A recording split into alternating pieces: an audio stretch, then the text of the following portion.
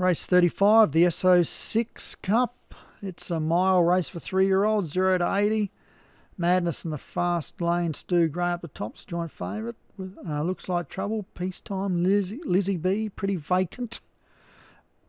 David Deckham, Zolano Fire, and Hot Leon Hollywood Hinton is the other joint favourite, number eight.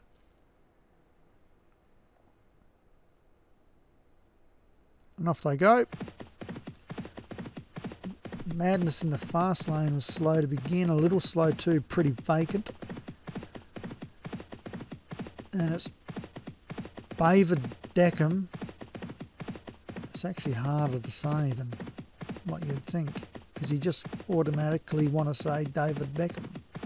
So it's David Deckham from Pretty Vacant, Zolano Fire, Lizzie B, uh, in the fast lane has kicked up now, in, held up behind, uh, pretty vacant.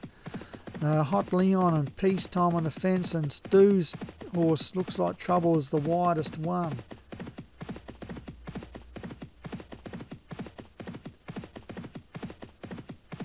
So they straighten up, might be in the back stretch, might be in the home stretch. Just David Deckham in front from Zolano Fire moving forward.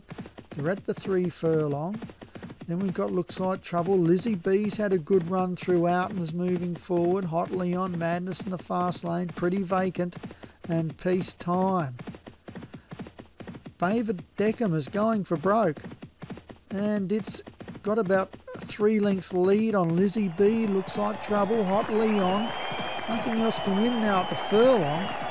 And this might go all the way here, David Deckham. And David Deckham is in front at the half. And I think this is going to win. They're starting to close now. David Deckham in front. Looks like trouble.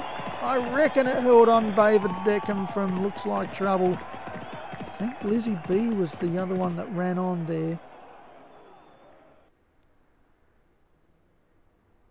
Wow, that was close. And the field was fairly well bunched on the line as well. So Stu picks up a winner. David Deckham from Looks Like Trouble, Pontypool Racing. Lizzie B, Martin Leadham third. Fourth, Hot Leon Hollywood Hinton. And fifth, Oh So Pretty, Pretty Vacant.